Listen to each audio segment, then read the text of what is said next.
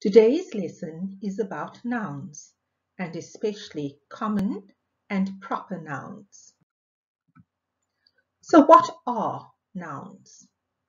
A noun is a word for a person, a place, or a thing. It is also known as a naming word. And here are a few types of nouns. Common nouns, proper nouns, abstract nouns, collective nouns, countable and non-countable nouns, as well as gender. Here are a few examples of nouns. Nouns given to people. For example, soldier, girl, doctor. They are all nouns. Animals, dog, goat, cow. For places, house, Cape Town, school. For things, table, car, ruler. And for ideas or feelings, kindness, joy, inspiration. Let's have a look at common nouns. They are names given for a class of person, place or thing. They answer to the question, what is it? For example, what is it? It's a boy, a bridge, a cat, a tower. So boy, bridge, cat and tower are all common nouns. It can directly follow articles. And examples of articles are a or a and the or quantity words such as some, a lot and ten. Nouns usually use an article but not always so you have to be careful there. Here is an example. The boy. The is an article, therefore boy is your noun. So let's identify the common nouns in the paragraph. A towel was put on the pillow for the cat to use as its bed. She dug her claws into it and fell asleep. Gary placed her food and water near the towel. Her favorite toys were there too. She liked to play with a little ball, a sock, and a ball of wool.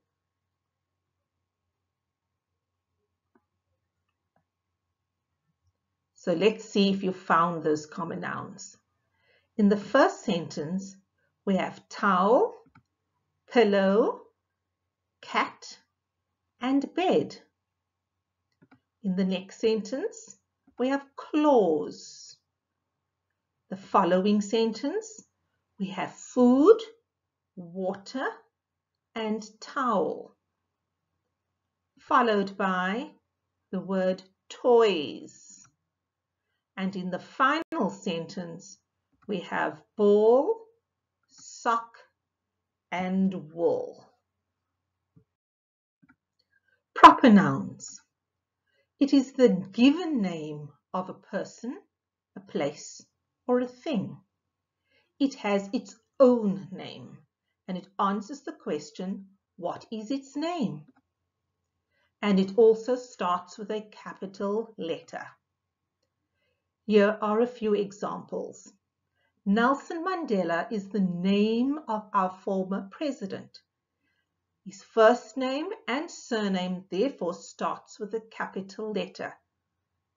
Table Mountain is a name given to a mountain.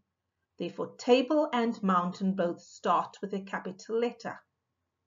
Shoprite is a name given to a chain of stores.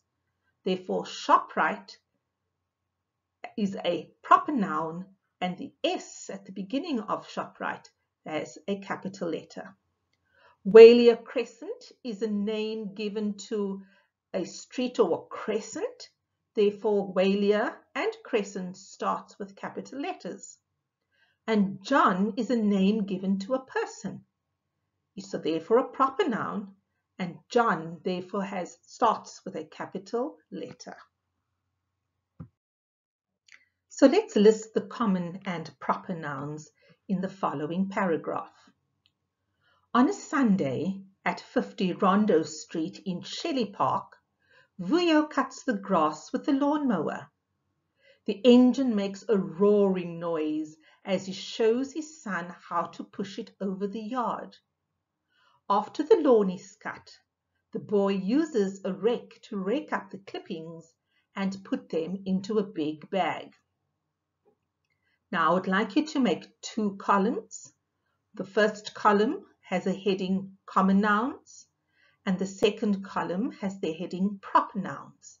And I would like you now to find those common and proper nouns and put them under their appropriate headings.